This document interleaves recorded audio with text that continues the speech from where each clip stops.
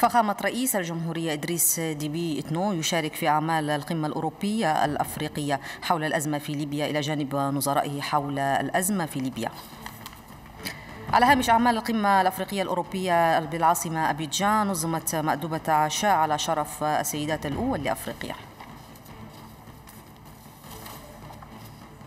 وزير المالية والميزانية بالإنابة الدكتور عبد الله صابر فضل يترأس أعمال الاجتماع العادي للمالية بهدف تقييم الحالة الاقتصادية على المستوى الوطني والإقليمي.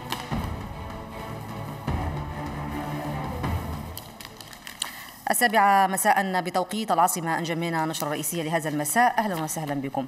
شارك فخامة رئيس الجمهورية إدريس ديبي إتنو في أعمال القمة الأوروبية الأفريقية لمناقشة أزمة اللاجئين في ليبيا المنعقدة أعمالها بالعاصمة أبيجان عاصمة ساحل العاج والتي اختتمت أعمالها اليوم والخروج ببيان ختامي أهم ما جاء فيه تكوين قوة مشتركة بين عدة دول لتعزيز الأمن. زينب سليمان.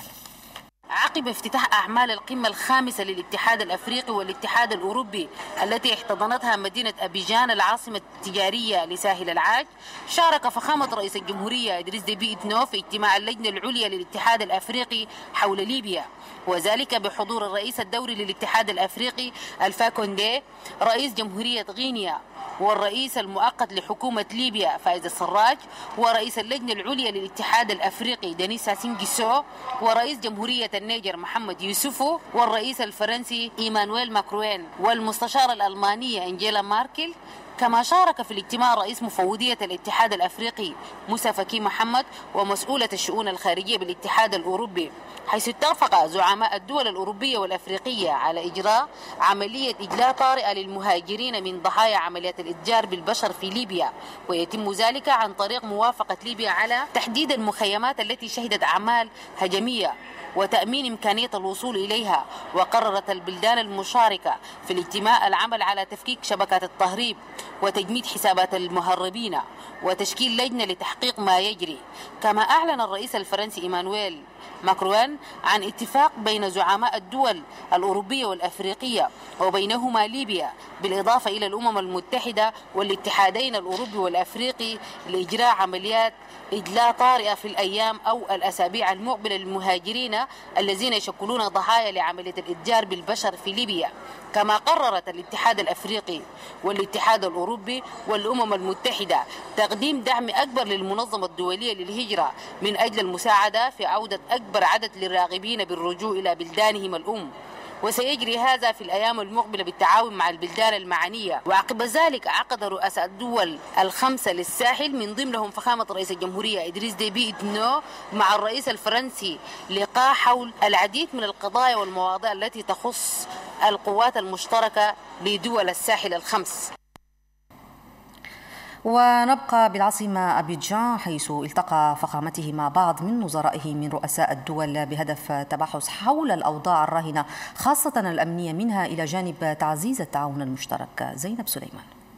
قبيل مغادرة فخامة رئيس الجمهورية إدريس ديبيت نو مدينة أبيجان العاصمة التجارية لساحل العاج قابل نظيره رئيس جمهورية غانا فخامة نانا أكفو أدو وقد تحاور فخامة رئيس الجمهورية مع نظيره الغاني حول سبل تعزيز ثنائية العلاقات بين تشاد وغانا. كما قابل فخامة رئيس الجمهورية إدريس ديبي إتنو رئيس جمهورية رواندا فخامة بول كاغامي وقد تطرق الطرفان حول العديد من المواضيع ذات الاهتمام المشترك التي تربط بين جمهورية تشاد وجمهورية رواندا في جميع المجالات. ومن ثم قابل فخامة رئيس الجمهورية إدريس ديبي إتنو رئيس جمهورية النيجر فخامة محمد يوسفو وناقش معه سبل ثنائية العلاقات بين البلدين لأن تشاد والنيجر تربطهما علاقات قوية ومتينة منذ الأزل.